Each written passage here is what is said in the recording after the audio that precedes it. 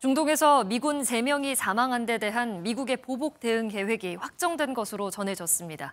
공격 대상에 이란 인사와 시설도 포함돼 중동 내 파장이 예상됩니다. 워싱턴에서 최중락 특파원입니다. 미국이 보복 공격 계획을 확정하고 시기를 조율하고 있는 것으로 전해졌습니다.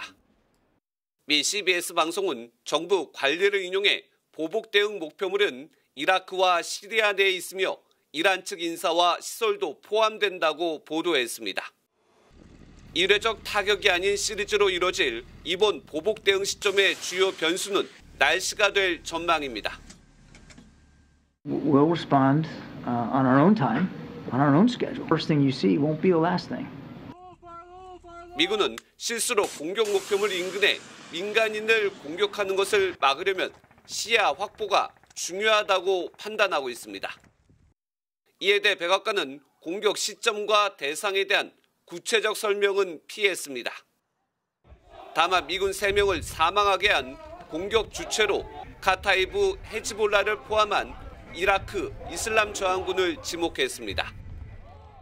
Uh, was uh, planned, resourced, and facilitated by an umbrella group called the Islamic Resistance in Iraq, uh, which contains uh, multiple groups, including Kitab Hezbollah.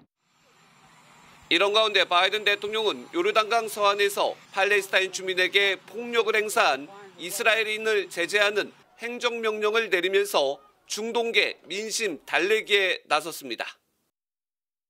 미국의 보복 공격 대상에 이란의 인사와 시설이 포함되면서 반응에 따라서는 중동 확전의 위험성도 커질 것으로 보입니다. 워싱턴에서 MBN 뉴스 최중락입니다.